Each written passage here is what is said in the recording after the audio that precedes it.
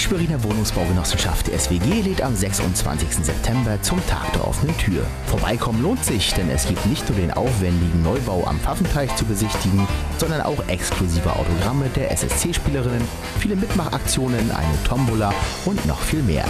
Der SWG-Hauptsitz in der Arsenalstraße 12 wird von 14 bis 18 Uhr für kleine und große Besucher geöffnet sein.